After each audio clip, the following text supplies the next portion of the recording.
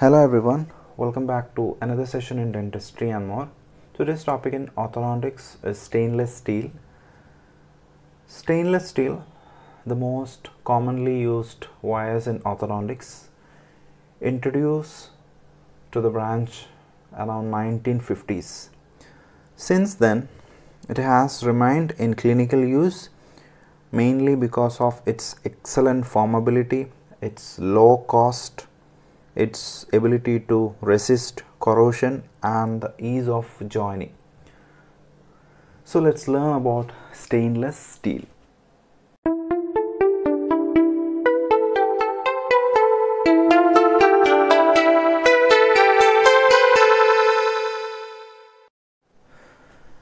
As we all know, steel is an alloy of iron containing carbon which is less than 0.2 percentage.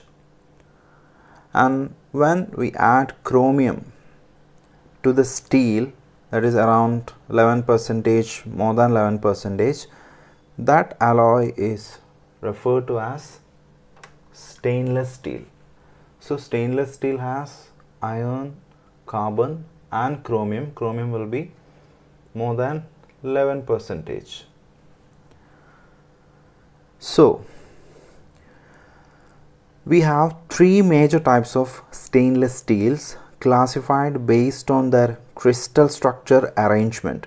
Namely uh, ferritic then uh, austenitic and martensitic. So these are three types of stainless steel. So the first one ferritic has a chromium in range of 11.5 to 27 percentage and there is no nickel then carbon is around 0.2 percentage. There is a maximum range. Then the austenitic which is also known as 188 steel which has 16 to 26 percentage chromium. So this is 18 of this 18 then nickel 7 to 22 percentage. That is a range mostly it is 8 that is why this name 188 and carbon is around 0.25 percentage. Then the third category martensitic which has chromium in range of 11.5 to 27 percentage where the nickel component is comparatively less 0.2 to 5 percentage. Whereas the carbon is in range of 0.15 to 1.2 percentage. So how does it uh, differ in structure? So the structure of these three compounds are like the ferrite one has body centered cubic lattice. So this is in BCC configuration that is body centered cubic lattice. Whereas the austenitic which has face centered cubic lattice. So this is FCC structure and the martensite which has body centered tetragonal that is BCT body centered tetragonal. This is the arrangement within the crystal. So body centered cubic lattice face centered cubic lattice and martensitic is body centered tetragonal okay so these are the difference between these three. So the ferritic stainless steel which has very little application in dentistry um, martensite steel has high strength and hardness hence they are used for making surgical and cutting instruments. But the problem is corrosion resistance of martensite the corrosion resistant is uh, very less. But it has a good property of strength and hardness so it can be used for the surgical and cutting instrument. But the austenitic one that is a most corrosion resistance and hence widely used in dentistry because we cannot afford the corrosion because it is exposed to the oral environment, saliva, other fluids.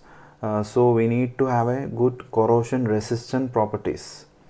because it is placed in the oral cavity for a longer period maybe one one and a half years so it is not like uh, martensitic it has very less corrosion resistant this is having the highest corrosion resistant that is why austenitic 1 is used for uh, the orthodontic wire and commonly used in dentistry. Whereas this austenitic has uh, basically two types. One is uh, where I will write AS1 302 and the second one is uh, AISI AISI 304 so these are the two different varieties. The AISI 302 has 18 percentage chromium. This is 18 18 percentage chromium 8 percentage nickel then 0.15 percentage carbon.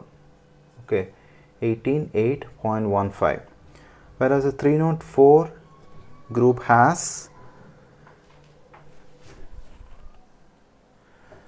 18 percentage chromium 8 percentage nickel but the carbon component is comparatively less that is 0.08 percentage. So these are the two forms of two different types of austenitic wires.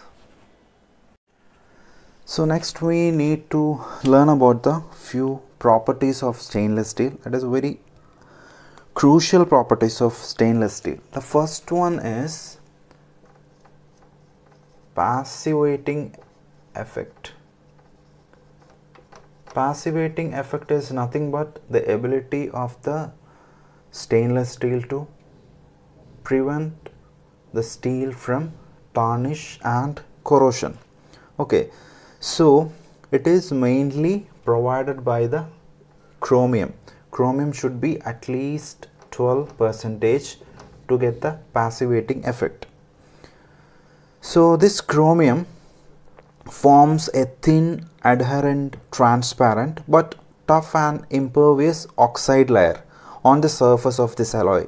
When this uh, layer forms when it is subjected to an oxidizing atmosphere okay? So when this uh, stainless steel is introduced freshly to an atmosphere it should be very mild as a clean air. There will be a layer forms on the surface. That is an oxide layer forms on the surface.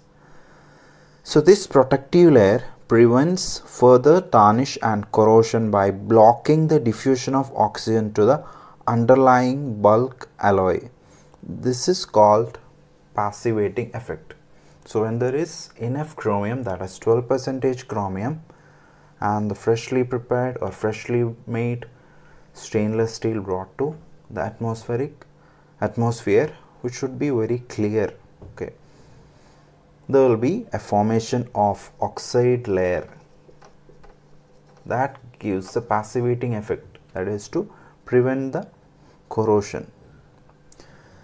So passivating effect will be there only if the chromium amount is minimum 12 percentage. 12 percentage is the cutoff rate and if the oxide layer so this formed oxide layer is ruptured by any form like mechanical or chemical means the protection against corrosion that will result. So this oxide layer should not be lost. If it lost there will not be any protection against corrosion or tarnish. And loss of this oxide layer and it is subjected to corrosion and tarnish is known as sensitization. Sensitization is nothing but the loss of passivating effect of stainless steel or in other words we can say that the loss of oxide layer. So when there is heating of this stainless steel uh, around 400 to 900 degrees Celsius what happens is the chromium and carbon at the grain boundaries reacts and forms chromium carbide. So there will be formation of chromium carbide at the grain boundaries okay so chromium and carbon reacts and forms this chromium carbide so loss of chromium will be uh, happening from the matrix of stainless steel which is uh, the amount will be less than 12 percentage. So it loses the passivating effect and there will be reduction in corrosion resistance and it results in the weakening of the metal. So this process is known as sensitization. That is nothing but the loss of corrosion resistance of the stainless steel. So how do we uh, manage this pro this problem? That is sensitization or the loss of corrosion resistance. So prevention of sensitization can be done by stabilization. So it's all a connected passivating effect sensitization and stabilization. So stabilization is nothing but uh, eliminate the chromium carbide precipitation by introduction of some other element which will react with carbon. So chromium carbide formation will be reduced so what we are doing is we introduce titanium. That is the most often used and added six times that of carbon. So formation of chromium carbide can be prevented. Okay. So stainless steel that has been modified in this manner is said to be stabilized.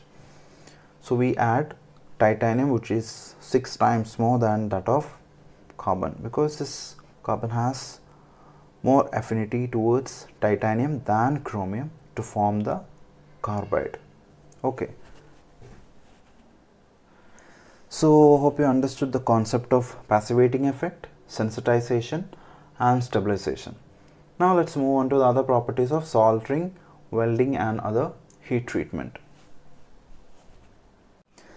And lastly guys we have started channel membership in dentistry and more channel so you can explore uh, various uh, exclusive perks for the channel members. So you can explore various options by clicking on the join button adjacent to subscribe button. So we have options of uh, personal whatsapp uh, help. So you can ask any doubts uh, you will get answered through whatsapp uh, text messages or voice messages. And we have one more option that is the PDF notes will be available but as of now we have only the public health dentistry topic. The more topics will be uploaded soon. And the last option is one-to-one -one interaction session. You will get the personal interaction or personal classes on uh, various subjects from the faculties of respective branches. So explore the join button and let us know if you want any further help from us. Thank you